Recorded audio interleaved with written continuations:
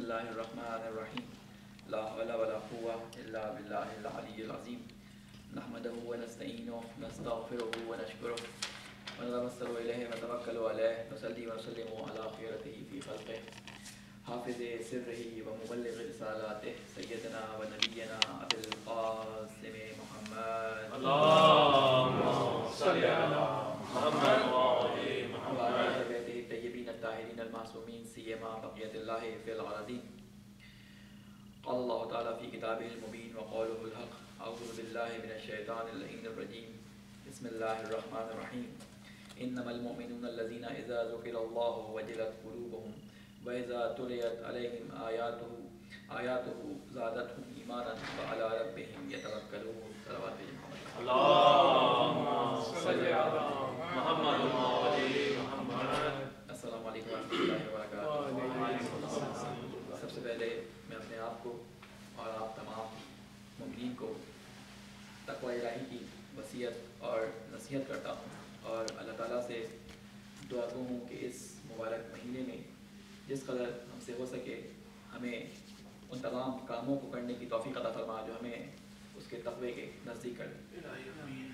हमारी गुफ्तु रसूल अकरम सल्लल्लाहु अलैहि वसल्लम की ज़िंदगी से मुतालिक और उन हालात से मुतालिक जो आपकी ज़िंदगी में पेश चल रही थी, उसी में से मैंने जो गुफ्तु हमारी पहुँचाई थी, वहाँ तक पहुँची थी कि हम हिजरत के आखिरी जो अयाम थे, उनसे लेकर हमने रसूल खुदा का मदीना में जो गुरूब था, वो आपके सामने बयान किया था। इससे पहले कि मैं हिजरत के वाक़यात और उसके बाद के वाक़यात आपके सामने बयान करूँ आय करीमा जिसकी आपके सामने तिलावत की है, उसके तर्जमे पे इक्तफा करते हुए और कुछ मुख्तर से उसकी तोज़ी के बाद आगे बढ़ता हूँ। सूर्य अनफाल की आयत नंबर 74 है कि जिसमें अल्लाह ताला ईमान वालों की निशानियाँ बयान कर रहा है कि ईमान वाले कौन होते हैं, कि ईमान क्या होता है या ईमान वाले कौन होते हैं। और मजीद में तकरीबन सात या आठ जगहों पर ये बताया गया है कि इन नमल मोमिनूना करके आयत शुरू होती है। अगर आप इन नमा इन नमल मोमिनून या इन नमल या इन नमल मोमिन करके आप सर्च करें तो आपको ये सारी आयत लाइन से मिल जाएँगी। सारी आयत अभी ज़िक्र नहीं कर रहा उसमें अल्लाह ताला ने ज़िक्र किया है कि एक शख्स के ईमान के लिए क्या क्या चीज़ें ज़रूरी हैं। उनमें से एक आयत का मैंने इंतखब किया है, जो क्योंकि मेरे मौजू से मुतल है। उसमें अल्लाह ताला फरमाता है इन मोमिन लजीना इज़ा ज़ुकिर अल्लाह के सबसे बेशक इनमा का तर्जुमा आप लोग मुझसे पता जाते हैं। इनमा यकीन बस, सिर्फ़ और सिर्फ़ ये सारे फ़कत इन माना में इनमा इस्तेमाल होता है। हसर के अल्फाज में से ये है। कहते हैं, सिर्फ़ मोमिन वो हैं या वो लोग हैं कि एज़ा ज़ुकिर अल्लाह, जब अल्लाह ताला का ज़िक्र किया जाता है, वजलत क़ुलूबुहुम तो उनके दिल रोशन हो जाते हैं, उनके दिल से नूर फूटने लगता है। वैज़ा तुलियत अलैहिम आयात ही और जिनके सामने जब आयात की, अल्लाह ताला की आयात की तिलावत की जाती है ज़्यादा तुम ईमान तो इनका ईमान बढ़ता चला जाता है। इसके बाद फरमाता है अल्लाह रब ये तवक्लून ये वो लोग हैं जो अपने परवरदिगार के ऊपर तवक्ल करते हैं। यहाँ पे अल्लाह ताला ने जहाँ ये बताया है कि ईमान वाले लोग कौन होते हैं? वहाँ ये भी बताया है कि ईमान कई दर्जात होते हैं। क्योंकि अल्लाह ताला ने ये बताया है कि एक ईमान वो होता है कि जो अल्लाह ताला ने इस्लाम लाने के बाद इंसान के अंदर बेसिक ईमान जो इंस्टॉल हो जाता है इस्लाम के बाद, वो ईमान होता है। एक ईमान वो होता है जो उसमें दर्जे ब दर्जे बढ़ता चला जाता है। उसका ज़िक्र अल्लाह ताला ने साहिब ने फरमाया है कि अल्लाह के ज़िक्र से ये ईमान बढ़ता है। उसके अलावा जब आयात, कुरान करीम की इनके सामने तिलावत की जाती है, उस वक्त इनका ईमान ज़्यादा हो जाता है। तिलावत के बारे में मैंने आपको बताया था कि तिलावत कहते हैं, तला यत्तू से निकला है। तिलावत कहते हैं कि पुश सरहम आना, एक दूसरे के बाद आना, यानी जहाँ आपने बात सुनी, वहाँ उसका अमल उसके पीछे जो उसके ऊपर हो सकता है, वो आया। इन तिलावत, यानी अमल के ज़रिए किसी काम को करके दिखा देना, यूँ समझ लें।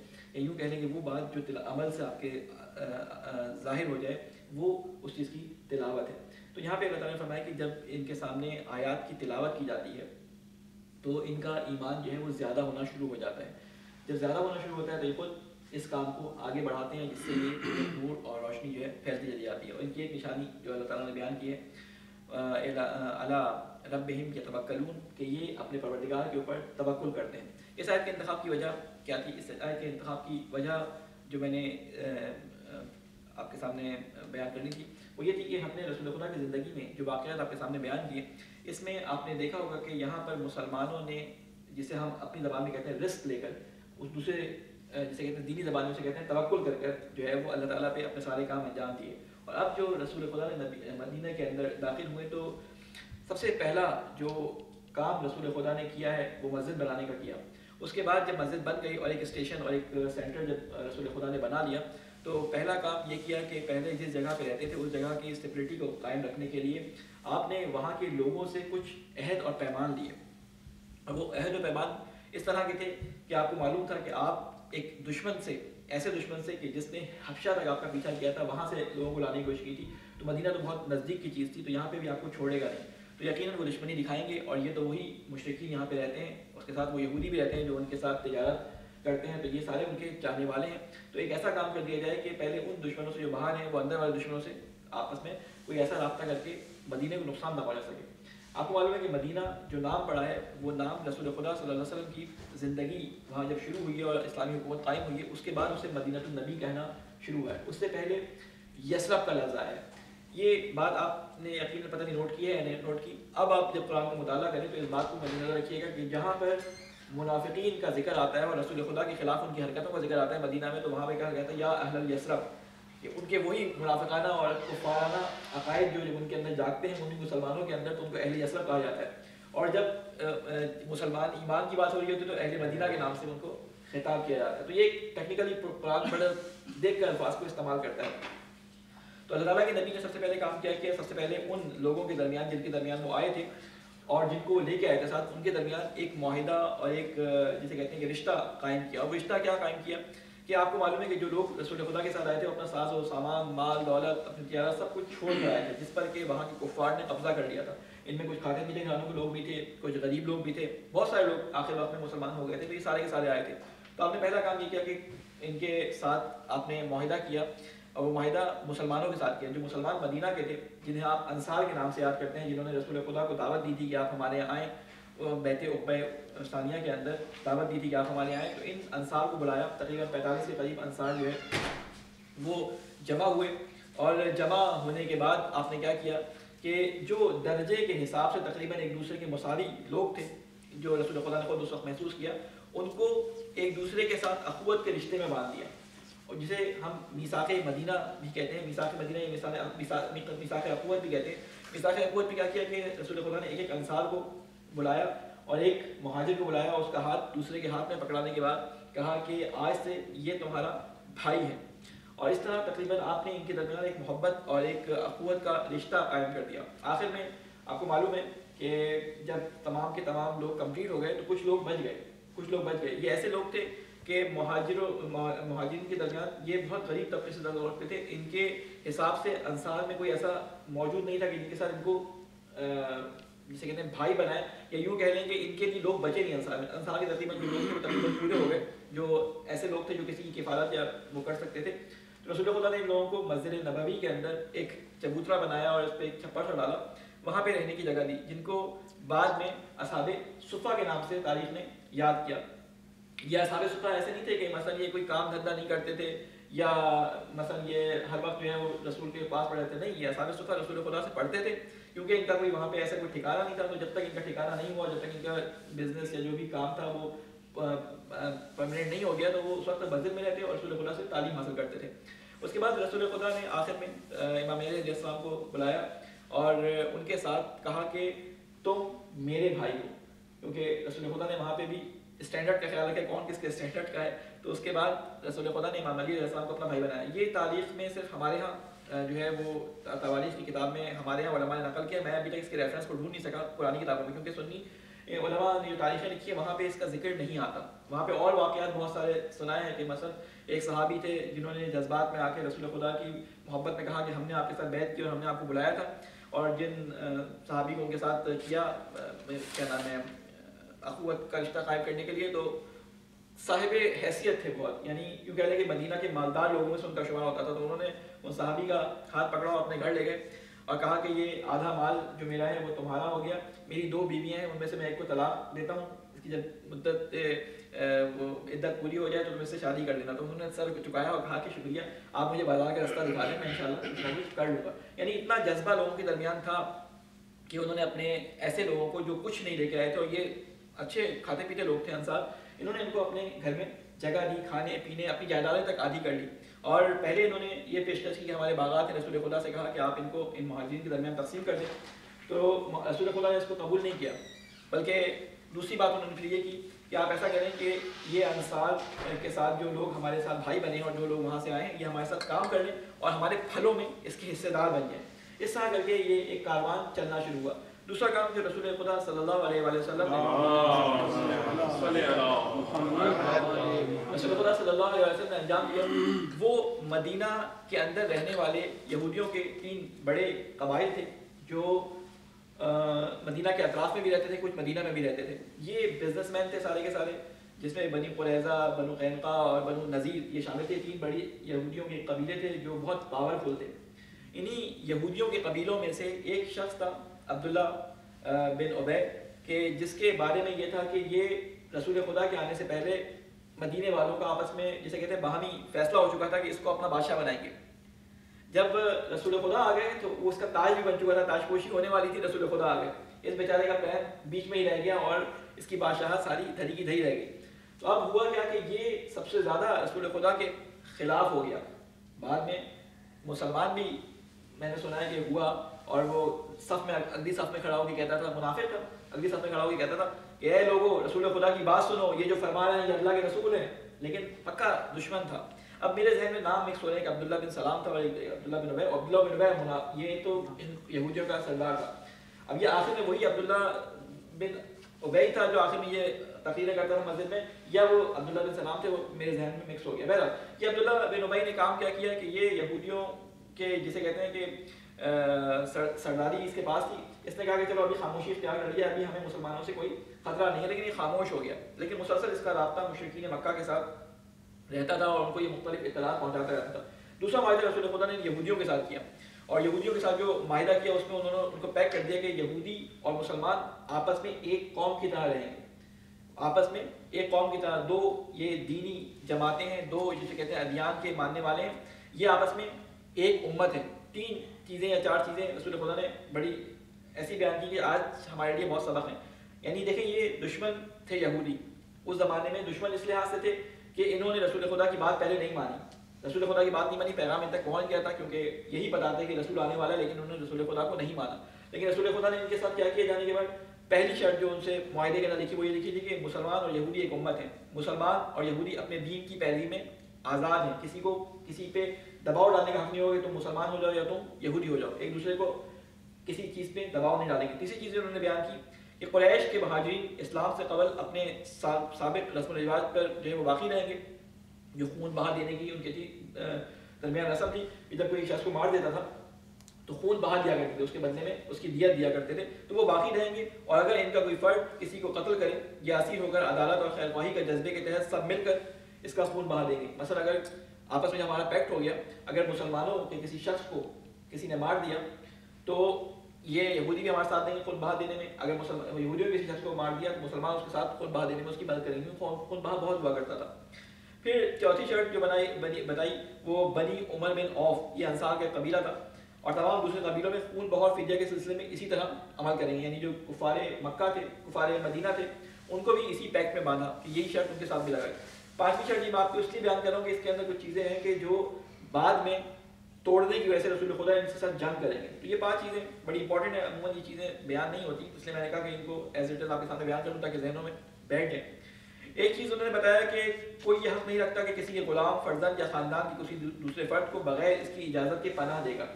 यानी अगर कोई पनाह लेके आ जाए तो वो उसको पनाह नहीं देगा। जैसे आपको मालूम होगा कि जब मक्का सुलह हुदैबिया हुई, उस मौके पर भी इस तरह की एक शर्त लगाई गई थी कि कोई मुसलमान अगर मक्के से हिजरत करके मदीना आ जाए तो वो वापस जाएगा। उसको ये लोग नहीं रख सकते थे। रसूल खुदा ने अपने ऊपर भी अप्लाई की शर्त। खाली इनको नहीं कहा, बल्कि अपने ऊपर भी बाद में इस तरह की शर्त रखी और उसको अप्लाई भी किया।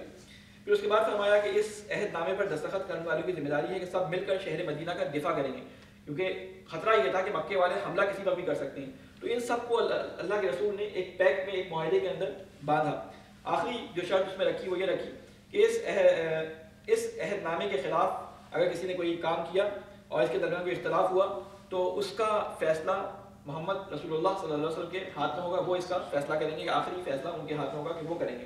किसी, कोई कमेटी, कोई शूरा, कोई जरगा, कोई ऐसी चीज़ नहीं बैठेगी जो फैसला करे, बल्कि रसूल खुदा इसका फैसला करेंगे इख्तलाफ की सूरत में और ये सारी चीज़ें हुई। इस तरह ये रसूल खुदा जंग बदर से जिसे कहते हैं कि रोक, या जंग बदर की इतना तैयारी करी माहे करने के बाद रसूल खुदा ने अपनी हुकूमत कायम की, छोटी सी हुकूमत वहाँ पे कायम हो गई। और जब हुकूमत कायम हो गई तो रसूल खुदा ने पहला काम ये किया कि मुसलमानों की एक कमेटी बनाई, उनसे मुशावरत का सिलसिला शुरू किया, और उसके बाद कुछ लोगों को ट्रेन करना शुरू किया जंग के लिए, क्योंकि अब तक रसूल खुदा को सिर्फ़ तबलीग का हुक्म था। अभी कतल की कताल कताल कहते हैं जंग को, जंग की इजाज़त नहीं मिली थी, लेकिन रसूल खुदा ने जंग की इजाज़त से पहले मुसलमानों को ट्रेन करना शुरू किया कि अगर जब जंग की इजाज़त मिले तो ये ट्रेन हो पहले से, क्योंकि मदीना में रहने वाले लोग अमूमन काशकार थे, किसान थे, इस तरह के लोग थे। इनको जंग व जदल से इतना वास्ता नहीं था, जबकि मक्का वाले जो थे, वो तजारत पेशा थे वो जंग व जदल और माल कुटाई के माहिर लोग थे, ठीक है? तो वो लोग अगर मुकाबले में आते तो इनका मुकाबला ज़्यादा करना सख्त हो जाता रसूल खुदा ने छापा मार कमेटियाँ बनानी शुरू की। छापा मार कमेटियाँ करती क्या थी? और ये क्यों करती थी काम? क्योंकि मुसलमानों पे इल्ज़ाम लगाया था कि मुसलमानों ने काफिलों को लूटने का काम किया। आपने अक्सर ये, अगर शुभात सुने हो तो ये कहा जाता है कि मुसलमानों काफिलों के लूटने का काम किया। असल में काफिलों को लूटने का काम नहीं होता था। क्योंकि जब मक्का से हिजरत करके रसूल खुदा आ गए तो अब मक्का वालों को बड़ी आग लगी हुई थी कि हमारे से बच के निकल गए। और अब वहाँ जाके ये इस्लाम को फैला रहे हैं उनकी हुकूमत कायम हुई तो मुसलसल इस फ़िक्र में थे कि किसी तरह इनको, जिसे कहते हैं ना कि जूते के तरह दबा लेंगे इसको मुसलमानों को बिल्कुल मदीना के अंदर ऐसे तहस नहस कर दे कि बिल्कुल मदीना में ये सब खत्म हो जाए। तो इनके दरमियान चलता रहता था। इन्होंने पहले मालों में कब्जा किया। मक्का वालों की सारी की सारी दरामद का दारोमदार उनकी तजारत पे था। ये गर्मियों में शाम और बाकी दिनों में मुख्तलिफ़ मुख्तलिफ़ इलाकों की तरफ़ सफ़र करते थे, उससे जो कमाते थे, उससे इनका गुजर बसर होता था। या बकरियाँ चलाते थे, उससे गुजर बसर नहीं होता उससे खाना पीना कभी कभी हो जाता था, लेकिन गुजर बसर का तजारत पे होता था, ये बेहतरीन तो जार थे। तो रसूल खुदा ने सबसे पहले उनकी वो सप्लाई लाइन काटने के लिए कि जो ये काफिले जा रहे हैं, और इन काफिलों के अंदर मुसलमानों का बहुत सारा माल उनकी जायदादें थी, जो इन्होंने मक्का वालों ने कब्जा कर ली थी। तो बहुत सारे जब काफिले आते थे, रसूल खुदा उनसे कहते थे कि तुम जाओ और उन काफिलों का सुराग लगाओ और मालूम करो कि वो कहाँ जा रहे हैं, कैसे जा रहे हैं। और सिर्फ़ अभी तक सुराग लगाने की थी। कभी दस लोगों को भेजा, कभी कुछ लोगों को भेजा। हमजा अलैहिस्सलाम जो थे, उनके रसूल खुदा के चचा थे, उनके साथ तीस लोगों को भेजा और एक जगह उनकी अबू सुफियान से झड़प भी हो गई। लेकिन बीच में कबीले ने बीच बचाव किया और इनके दरमियान सुलह हो गई और ये आपस में एक दूसरे से चल इधर उधर वापस आ गए। लेकिन काम क्या करते थे? छापा जब जाते थे किसी जगह पर और मुसलमानों के इस ग्रोह को वहाँ के लोग देखते थे तो क्या करते थे? इनको पता था मदीने में हुकूमत कायम हो चुकी है तो ये नुमाइंदे के तौर पर उस कबीले के सरदार के पास जाते थे और उससे मुआहिदा करके आ जाते थे कि देखो, हम किसी वक्त भी किसी जगह कर सकते हैं हमला इनके काफिलों पे तो तुम हमारे हलीफ हो जाओ, कहीं तुम्हें नुकसान ना हो जाए। तो इस तरह जो मुख्तलिफ़ छापामार कमेटियाँ और टीमें जाती थी, वो मुख्तलिफ़ कबाइलों से मुआहिदा करके जाती थी, मुआहिदा करके आती थी। इसकी वजह से अतराफ मदीना के लोग मुसलमानों के हलीफ हलीफ कहते हैं जो हम पैमान होते हैं, वो बनने शुरू हो गए। ताकि चारों तरफ़ मज़बूत हो जाएगा, हमला हो तो ये सारे सारे हलीफ जंग के अंदर शामिल हो। बहरहाल टाइम हमारे पास बहुत तेज़ी से गुजर जाता है हर दफ़ा। और मुझे दूसरा खुदा ही बयान करना है, इंशाल्लाह। बाकी चीज़ें दूसरे खुद बयान करूँगा अल्लाह ताला से। दुआ है कि ए अल्लाह ये वास्ता है मोहम्मद वाले मोहम्मद का इस बबरकत और पाक महीने में हमें अपने रूह की पाक पाकीज़ रूह की पाकीज़गी की कोशिश करने की तौफीक अता फरमा। ए अल्लाह तुझे वास्ता है मोहम्मद वाले मोहम्मद का हमारे अंदर जो छुपी हुई गलाजतें और छुपी हुई कसाफतें हैं अल्लाह इस महीने में उनको पाक व साफ़ फरमा। ए अल्लाह हमें उस पाकीज़ा फरमा। ए अल्लाह हमारे मरहूमीन की रूहों पर उनकी कब्रों पर अपनी नूरानियत की रहमत नाजिल फरमा। ए अल्लाह तुझे वास्ता है मोहम्मद वाले मोहम्मद का हमारे बच्चों हमारे नौजवानों हमारी बहनों के दिलों में हुब्बे आल मोहम्मद को रासिक फरमा। ए अल्लाह तुझे वास्ता है मोहम्मद वाले मोहम्मद का अपनी किताब कुरान मजीद को समझने की और उस पर अमल करने की तोफ़ी अदा फरमा। ए अल्लाह तुझे वास्ता है मोहम्मद वाले मोहम्मद का मुसलमानों की जहाँ जहाँ हालात खराब है उन पर जुल्म हो रहा है या आफात उनके ऊपर आफात आई हैं अल्लाह उनकी इन आफात से निजात निजात अदा फरमा। ए अल्लाह जो तुर्की में और शाम में और मुख्तलिफ़ जगहों पे जो जलजला आया है उनके जो जलजला जदगान हैं अल्लाह उनकी हिफाजत फरमा और हमें तौफीक अता फरमा कि हम किसी तरह उनकी कुछ मदद कर सकें। अल्लाह तुझे वास्ता है मोहम्मद वाले मोहम्मद का हमारे कराम का साया हमारे सरों पर कायम फरमा। अल्लाह मुल्क पाकिस्तान की हिफाजत फरमा। अल्लाह तुझे वास्ता है मोहम्मद वाले मोहम्मद का इमाम ज़माना की हिफाजत फरमा। अल्लाह तुझे वास्ता है मोहम्मद वाले मोहम्मद का हमारे अपने इमाम के साथ उनके नासरीन में शामिल फरमा बिस्मिल्लाहिर्रहमानिर्रहीम इन्ना अतैनकल कौसर फसल्लि लिरब्बिका वनहर इन्ना शानिअका हुवल अबतर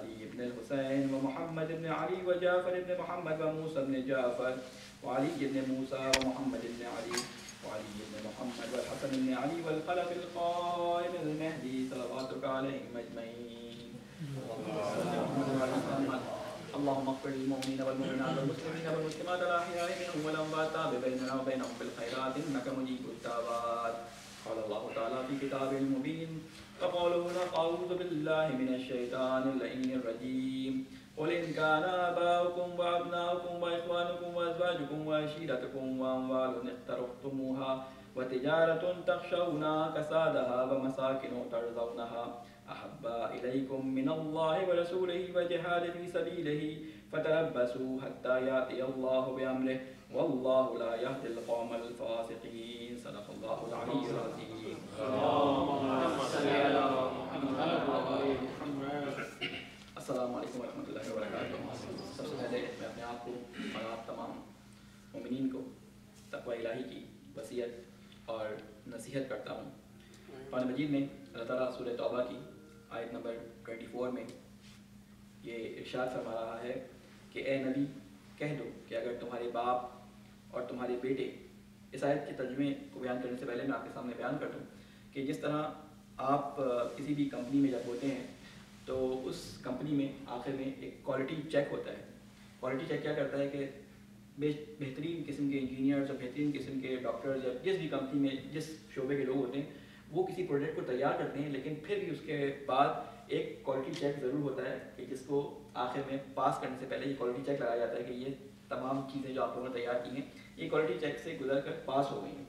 इसी तरह अल्लाह ताला ने क्वालिटी चेक मुसलमान के और ईमान के क्वालिटी चेक कुरान मजीद में मुख्तलिफ़ आयतों की सूरत में कई जगहों पर बयान किए हैं।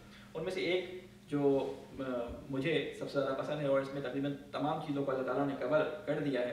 मुझे क्या, यानी आइमाम ने इसको मोमिन के जांचने का, अपने ईमान को जांचने का तरीक़ा जो है ताकि फरमाया कि इसके ऊपर अपने ईमान को जांचो।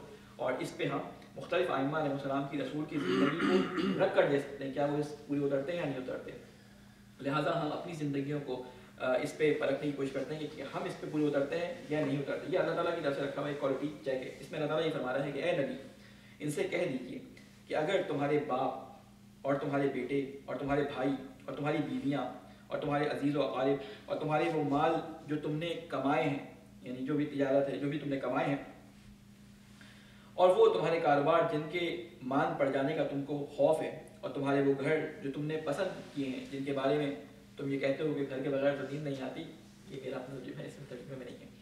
वो घर जो तुम्हें बहुत पसंद है, तुमको अल्लाह और उसके रसूल और उसकी राह में जहाज़ से अज़ीज़ तर हैं तो इंतज़ार करो यहाँ तक कि अल्लाह अपना फ़ैसला तुम्हारे सामने ले आए। और अल्लाह फासिक लोगों की रहनुमाई नहीं करता। यहाँ अल्लाह ताला ने कुछ चीज़ें बयान कर दी हैं कि जो दुनिया में हमारे सामने आती हैं, जब हम कोई ऐसा काम करने जाते हैं, जिसमें हमारे लिए बहुत सारे, जिसे कहते हैं कि आखिरत के फ़ायदे होते हैं तो ये चीज़ें सामने आ जाती हैं। यानी हमें जब नज़र आता है कि हमें किसी जगह मदद करनी चाहिए और वहाँ मदद नहीं कर पा रहे, या फला काम हम करना चाहते हैं, हमारा बाप, भाई, चचा, कोई रिश्तेदार राज़ी नहीं होता, उसके डर की वजह से, उसकी मोहब्बत की वजह से हम वो काम अंजाम नहीं देते, या कोई ऐसा बिज़नेस जो हमने बनाया होता है कि हमारे उस काम के नतीजे में वो बिज़नेस तबाह होने का खतरा होता है, या हमारी से, या हमारी साख खराब होने का होता है खतरा या हमारी औलाद की वजह से, उसकी मोहब्बत की वजह से हम किसी चीज़ को छोड़ने का खतरा होता है तो अल्लाह ताला ने तमाम चीज़ें एक साथ ज़िक्र कर दी। या सारी ज़िंदगी मेहनत करके हम कोई जायदाद बनाते हैं, कोई घर बनाते हैं और उसके अंदर दुनिया जहान से चीज़ें ला लगाते हैं कि इसमें हम आराम से ज़िंदगी गुजारेंगे।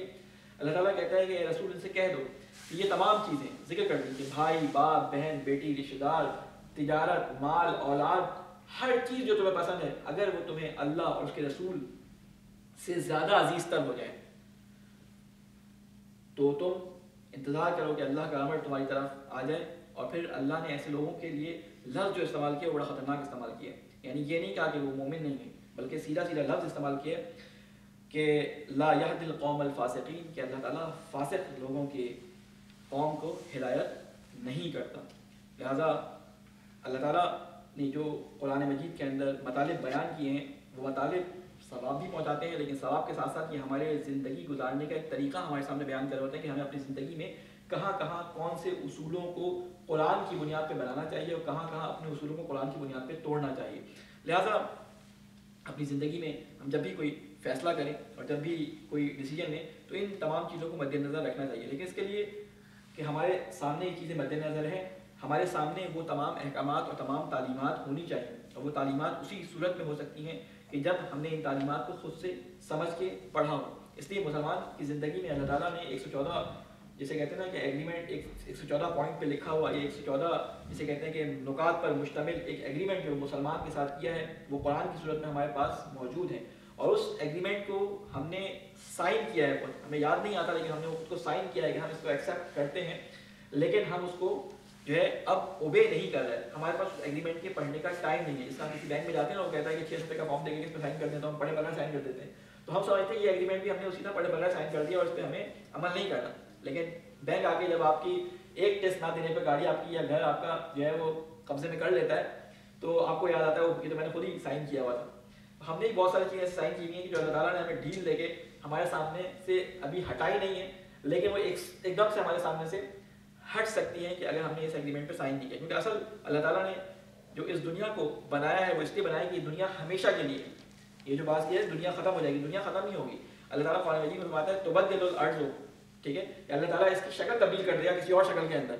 वो जन्नत बन जाएगी, ये दोजख बन जाएगी, ठीक है ना? इसी में तब्दीली आ जाएगी। अल्लाह ताला ने कायनात हमेशा रहने के लिए बनाई है। इसलिए अल्लाह ताला ने उन लोगों को जो इसमें हमेशा रहेंगे, एक प्लानिंग की और उस प्लानिंग के तहत इंसानों और जिनों और दूसरी मखलूक को रखा कि कौन इस अबदी दुनिया के अंदर रहेगा? तो ज़ाहिर उस अबदी दुनिया में रहने के लिए कुछ क्वालिटीज़ इंसान के अंदर होनी चाहिए। तो अल्लाह ताला ने उस टेस्ट के लिए यू कह रहे क्वालिटी टेस्ट के लिए हमें इस दुनिया के अंदर भेजा कि कौन उस क्वालिटी टेस्ट में पास हो सकता है, ताकि वो इस अबदी दुनिया के अंदर रह सके। उसका ठिकाना किस जगह पे हो? लिहाजा अल्लाह ताला से ये दुआ है कि अल्लाह ताला, वो तमाम इम्तहान और वो तमाम मामला जो उस दुनिया में हमारे काम आने हैं उन मामला को सूझबूझ के साथ कुरान मजीद समझने की हमें तोफ़ी अदा करना होगा कुरान मजीद के बारे में एक बात आपके सामने और बयान कर दूँ कि कुरान मजीद के बारे में हमारे यहाँ दो, तीन शुभात जो लोगों के दिमाग में यूँ कह रहे बिठा दिए गए हैं या बैठ गए इस तरीके से, वो ये उनमें से एक सबसे बड़ा शुबा ये है कि कुरान मजीद अरबी ज़बान में नाजिल हुआ और ये हमें समझ नहीं आ सकता।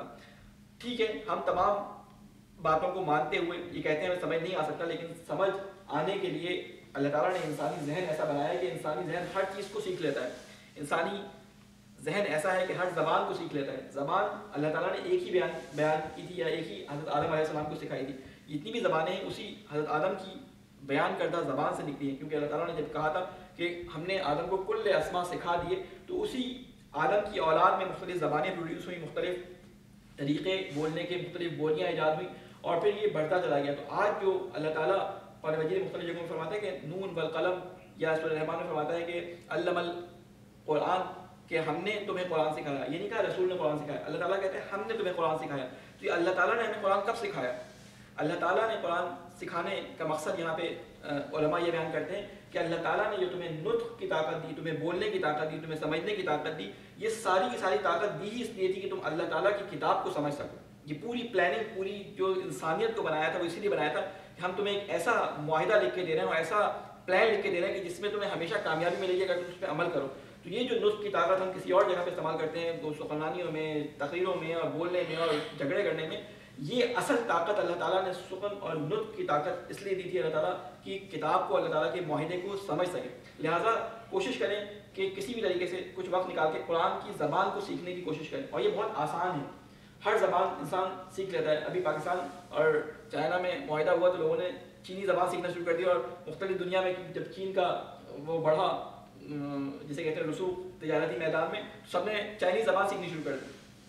तो हम कुरान भी सीख सकते हैं, ज़्यादा मुश्किल ज़बान नहीं है। दूसरी चीज़ जो इस हफ़्ते की मुनासबत से बयान करूँ कि वो जलजले के आने के बाद जो आफात वहाँ पे अभी आई हैं, वो जल्जली की आफत आपको मालूम है कि तुर्की और मुख्तलिफ़ इलाकों में जो जल्जला है, शाम के इलाकों में ये बहुत शदीद जल्जला है। सेवन पॉइंट एट रेस्टर का जल्जला जो है वो बहुत शदीद होता है। यानी अक्सर उनकी इमारतें जो बड़ी बड़ी थी, वो ज़मीन बोस हो गई। हज़ारों की तादाद में लोग जो हैं वो, जो है वो इस दुनिया से जा चुके हैं और लाखों की तादाद में जख्मी इस वक्त मौजूद है, कुछ मलबे से अभी तक निकले भी नहीं दूसरी दुनिया में जो लोग हैं, आपको मालूम है कि मुख्तलिफ़ जो मदद करने वाले ममालिक हैं, वो मदद करते हैं।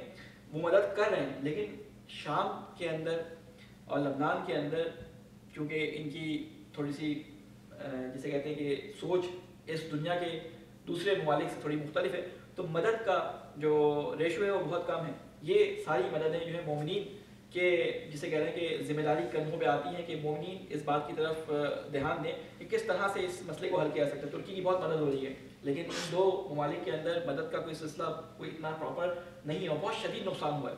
इसलिए जिस तरह पाकिस्तान के अंदर सैलाब आया था, वो हमारे भाई थे।